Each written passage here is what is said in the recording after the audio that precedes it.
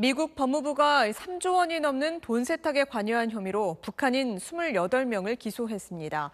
북한이 중국의 도움을 받아 이런 대규모 돈 세탁을 했고 그 돈으로 대량 살상 무기를 만들었다는 게 미국 정부의 판단입니다.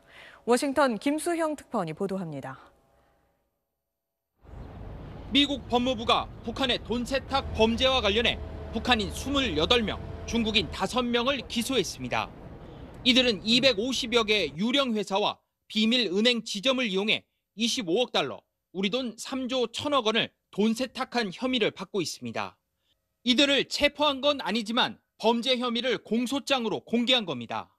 미국이 적발에 기소한 북한의 제재 위반 액수 가운데 사상 최대 규모입니다.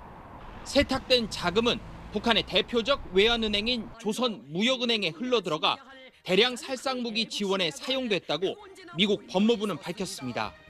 기소된 사람 중에는 조선무역은행 전직 총재인 고철만 김성의와 전직 부총재도 2명 포함됐습니다.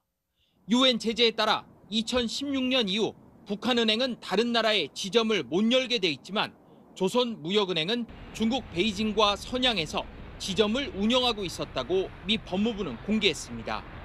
미 합참의장도 미국에 대한 외부 위협을 거론하며 또다시 중국과 북한을 지목했습니다. Uh, there's a lot of things out there uh, that are not necessarily in the United States' interest that happen every single day, from terrorists to Russia to China to Iran and North Korea. 이번 기소에는 미국과 최악의 관계로 치닫고 있는 중국이 북한과 밀착하는 것에 대한 경고의 의미도 담은 것으로 해석됩니다.